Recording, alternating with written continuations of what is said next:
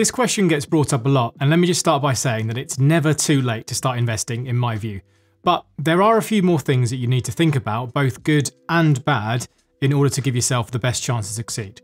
So in this video, I'm going to run through what I do to start investing, how I choose the right investments, and some of the best ways to make the most of whatever time you have.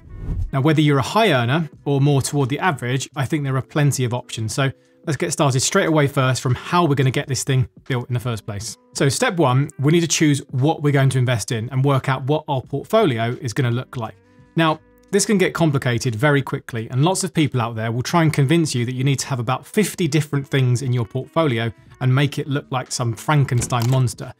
But I think in reality, you don't need to bother with most of that. Now, in my view, I think that what you invest in won't look a whole lot different whether you're 25 or 55 if you still want to invest for the long term.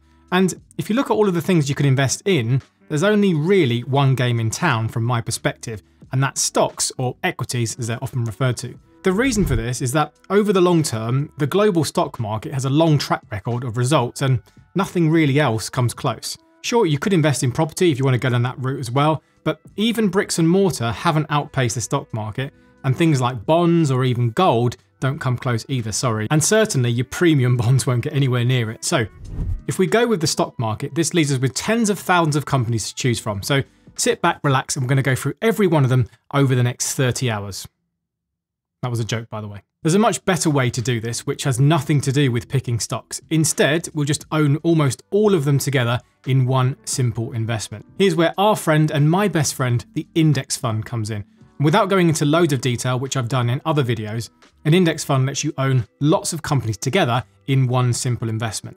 Some index funds have thousands of companies inside of them, and others have a lot less. And there are a lot more details worth looking into, but generally, if you choose a global one or any kind of broad passive index fund, you'll be starting in a great place. Also, you'll often hear about an index like the S&P 500. Well, this can also be bought by using an index fund as well, but I'll leave that one to one side for now as we've got a lot more to get through. You can get as simple or as complicated with the investments as you like, but as a general rule of thumb, it would be my own kind of personal tips. You keep them as low cost as possible. You stick to them being passively invested, meaning that they just follow the index based on how big a company is. And finally, you stick with it over the long run and don't keep changing things around. The worst thing you can do, and many people have done this in the past, is they chase the stocks or investments which have gone up recently because they assume that they just keep going up. I guarantee that this sort of thinking will never change. It's pretty much going to keep happening forever. Avoid this if you can. Right, step two is making sure that we get the right set of accounts because investing at any age is all about being as tax efficient as possible. Hopefully this is pretty obvious, but the less money you end up paying in taxes on your investments, the more money that ends up with you that you can choose what to spend it on. Anyway, also it's really important to take advantage of all the things you have available to you as an investor at any age, but later on in life it's even more important. Now, just before we jump into the accounts we use, first up, it's well worth saying that before you even think about investing extra money, it's well worth making sure that you're making the most of something like your pension at work. So, if possible, just make sure that you're matching your pension contributions as high as they can go with your employer, because this is quite literally free money that you could be throwing away. For example, if you could put in an extra £200 a month before tax in your salary, then you can get your company to match that with an extra £200 well, that's a 100% gain right there, and not many investments are going to be able to do that every single month. Also, because it's your pension, you're not going to touch it for a long time, meaning that you should be less likely to mess with it. Now, this helps with what I mentioned earlier. Remember when I said that a lot of people try and chase returns from what went up a lot recently? Well, in a pension, you're probably not going to look at it that often, which should help. As a quick side note, please do find out what your workplace pensions are invested in and see if you might end up doing far better by changing them to something better. Often, the default funds people get put into, which is the majority of the country by the way, are extremely poor, are expensive, and have way too much money in things like bonds, but again, a whole nother topic. Now, with that done, if you still have money left to invest, that leaves us with two important accounts that we just talk about.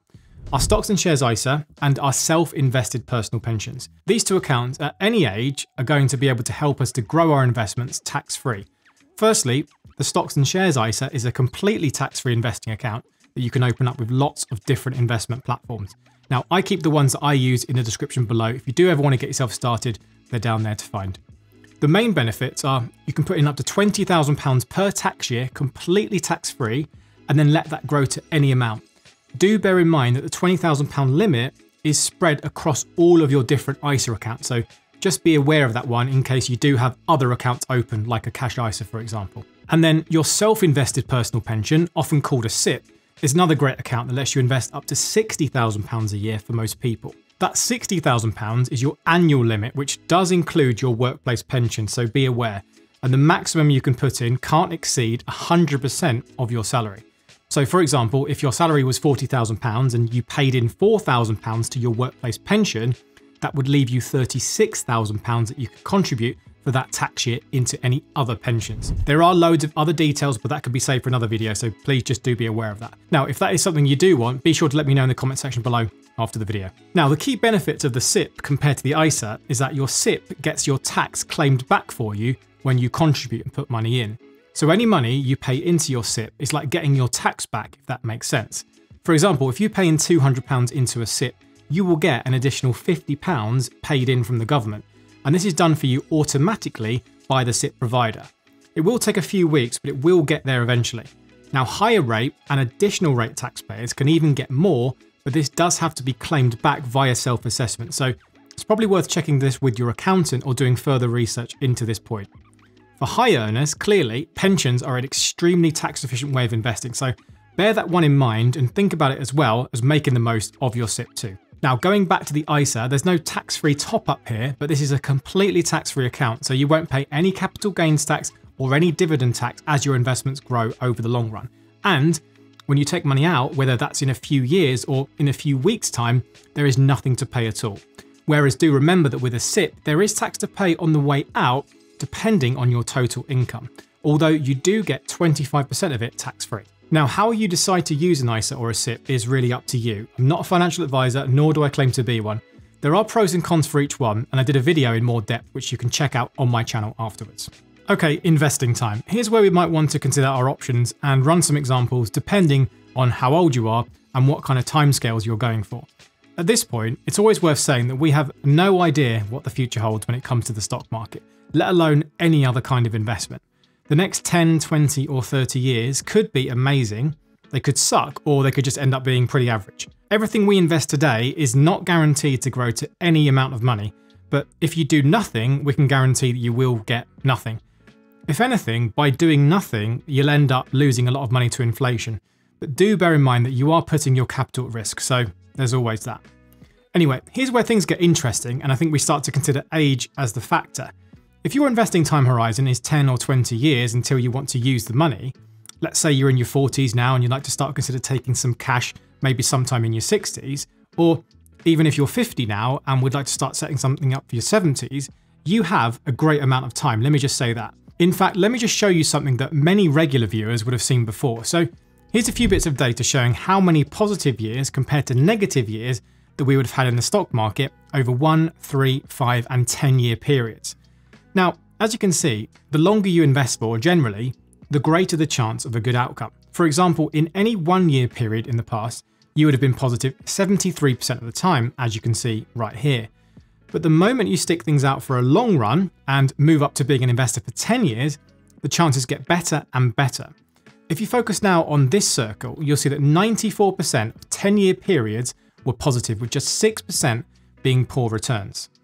Also, if you are interested for anything longer, the news just gets better and better.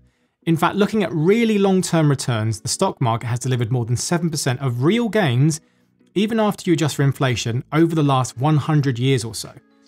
This might not sound like a lot, but let's just see what 7% can do for us if we invest different amounts of money. Also, just before we do jump into this, if you are finding the video useful, please do me a huge favour, hit the like button and make sure you're subscribed too. It does help out smaller channels like mine get to more people like you. Now, onto the money. So let's say £200 a month invested into a stocks and shares ISA for the next 20 years. We pay in no matter what happens and we get an average return of 7% a year. Bear in mind that in the real world, this would be a much crazier ride, but we do need to start somewhere. So whip out the compound interest calculator and we get a figure of just over £100,000. Remember that this is adjusting for inflation, so that's £100,000 of real spending power. Just over half of that is for investing gains, and you would have put in £48,000, which is not bad at all, if you ask me. For reference, if you double that, the return is doubled, and obviously if you half it, it's cut in half. As another example, if you are one of the lucky people who can max out a stocks and shares ISA, if you do put in £1,666 a month into your investments for the next 20 years, and you get those same returns, you end up with £857,000. Now, that is very nice indeed.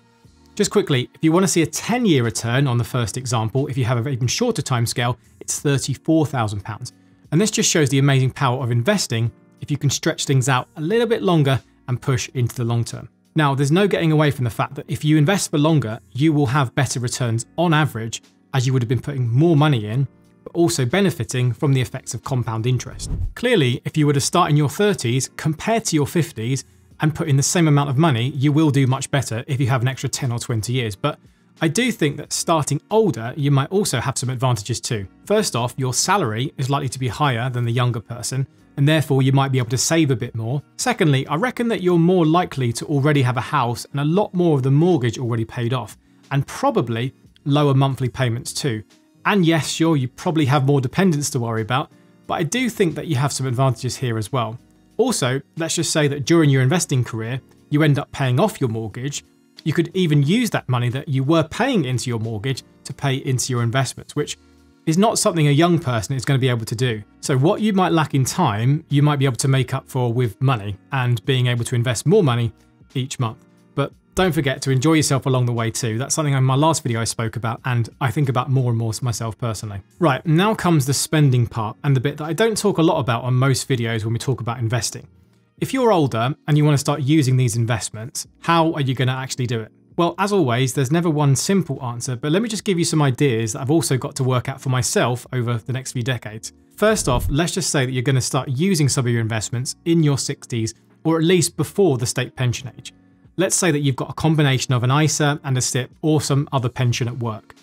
You want to be careful not to spend all your money at once, but also be as tax efficient as possible, remember, just like we mentioned earlier. So, assuming you're not working anymore, here are some ways that you might be able to do it. Firstly, before we talk about drawing down our investments and selling anything, I think it's important to say that we should have access to cash. Now, this is a very personal thing, but I think I'd like to have cash set aside to cover a couple of years' worth of living costs as well as my investments remaining invested the whole time. The last thing you want to do is have to sell all your investments during a market crash. After all, like we said earlier, there are no guarantees here and anything can happen. Saying that though, how will we take our investments and finally use them?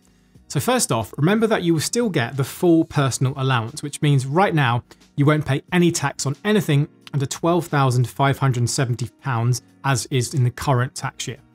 On top of that, you won't have to pay tax on anything you take out of your ISA, and you get 25% of the value of your pensions as tax free cash too. So technically, the only thing you have to pay tax on will be anything you draw from the taxable part of your pension. Hopefully that all makes sense, but let's just run a very, very quick example. Say you want to make an income of £20,000 for the year. You can easily make this completely tax free. You could take £12,570 from the taxable part of your pensions you might just sell off some of the investments in one go or do it monthly, totally up to you. So that's now the whole taxable part used, and there's no income tax to pay. Then you can use the tax free part of your pensions and your ISA to make up the rest of the £7,430. And you can do that in whatever combination you like, which will end you up with then £20,000 for the year with zero income tax to pay. Now, let's not forget that once you reach pension age, and assuming it's still there and you qualify for the full amount, you will get £10,600 a year, which will be taxable income, but then you can work out how you want to take the rest of your investments across your pensions and your ISA. In theory, you could start to draw down less money during this time compared to what you were taking before you get your state pension, but I don't want to get too bogged down in this topic on this video because I think that needs a separate video to talk about entirely.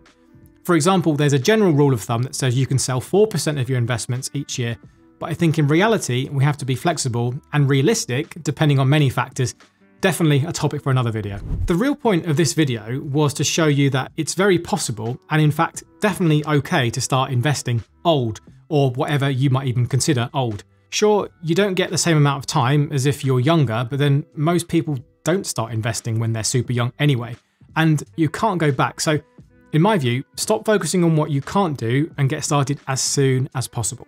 You still have to deal with the risks, we all do, and there's no guarantee of the future. We all have to deal with that one as well. But we also have to deal with the fact that if we do nothing, we also leave ourselves open to our money just getting eaten away by inflation. I know what I'd personally do, but as always, the decision is up to you. Now, as I said earlier, I've left out a ton of details in this video, and if you're new to the channel or new to investing, I've got loads of videos on my channel to kind of help you along with that. Firstly, if you're looking at what index funds you might want to invest in, watch this video here. And secondly, if you want to know the differences between the ISA and the SIPP in a bit more detail, watch this video here. I'll see you in the next one. Happy investing.